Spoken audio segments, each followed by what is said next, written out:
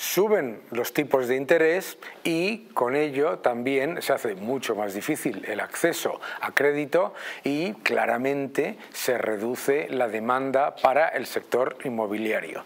Si veis este gráfico, ¿eh? este nos muestra la evolución del Euribor. El Euribor está aproximadamente a 3,7% actualmente, ese es el tipo de referencia eh, al que se prestan los bancos. 3,7% con una inflación que está en el 5 y pico es todavía una eh, son todavía tipos reales negativos. Por eso no se está generando una contracción del crédito muy significativa en la economía. Pero tenemos que ser muy conscientes de varias realidades. La primera, la eh, lucha para combatir la inflación probablemente haga que se vuelvan a subir los tipos ¿eh? en la próxima reunión del Banco Central Europeo y que una vez que se suban se mantengan a ese nivel durante un tiempo. La lucha contra la inflación, ojo, requiere después de una reducción del balance y de la cantidad de dinero en el sistema, del balance del Banco Central Europeo y de la cantidad de dinero en el sistema. ¿Qué significa reducir la cantidad de dinero en el sistema? Que va a haber menos oferta de crédito, que va a haber menos eh, condiciones laxas en la economía. Vamos a ver eso porque es importante mirar el siguiente gráfico sobre la situación del mercado inmobiliario en el mundo. Veréis, mucha gente nos ha escrito preguntando, bueno, pero ¿por qué no está subiendo el inmobiliario? Es una buena oportunidad invertir en inmobiliario ahora que eh, la inflación está subiendo, porque el inmobiliario históricamente ha sido una buena manera de protegerte contra la inflación. ¿Cuál es el problema? El problema es el siguiente, veréis.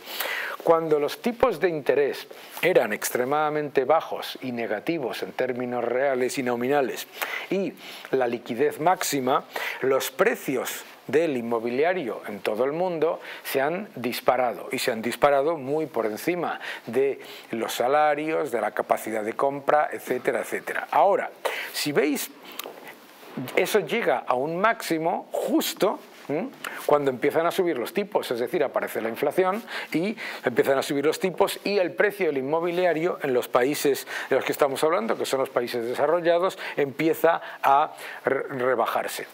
Es normal, porque claro, la subida previa como asset class, como activo del inmobiliario, ha sido ya reflejada, es decir, no es que no proteja contra la inflación, es que ya reflejaba una inflación que se estaba generando en los activos financieros a través de toda esa cantidad de dinero.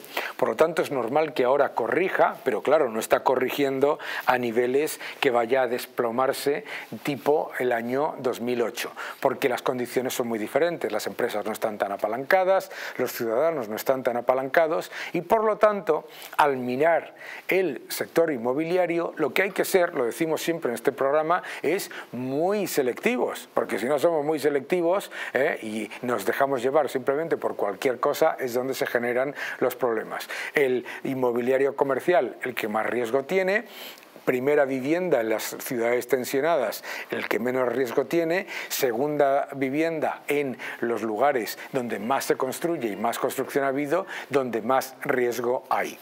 Vamos a ir a este otro gráfico porque vamos a hablar de, para nuestros amigos de Latinoamérica, Argentina ya alcanza un nivel de inflación del 104%.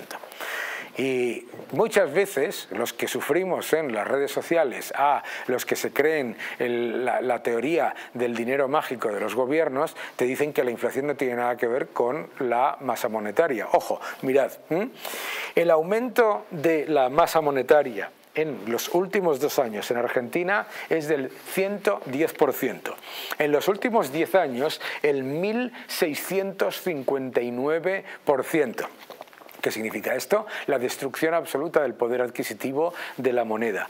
Esto no es, porque muchas veces en Argentina me dicen, bueno, la Reserva Federal también imprime dinero.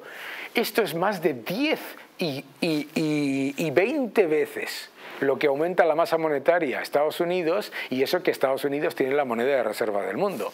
Si además de aumentar masivamente la masa monetaria, la demanda de esa moneda se desploma porque ni los argentinos quieren esa propia moneda, ahí está la evidencia de esa destrucción del poder adquisitivo de la moneda. Es curioso que se hayan juntado, perdonad, es curioso que se hayan juntado 11 países para hacer una alianza contra la inflación. Atención a la lista de los países, que es para leerla. ¿eh? Argentina, Bolivia, Brasil, Colombia, Cuba, eh, Honduras, Venezuela. Es decir, todos los inflacionistas, todos los populistas que se dedican a imprimir dinero si pueden, todo lo que puedan, para destruir eh, el poder adquisitivo de los salarios y de los ahorros, resulta que se juntan en un club antiinflación, porque le echan la culpa de la devaluación al dólar, no a su moneda, cuando el problema es que su moneda en Cuba, en Venezuela, en Argentina y en los países que le siguen, es que no la quieren ni sus propios ciudadanos. La inflación es siempre y en todo lugar un efecto monetario.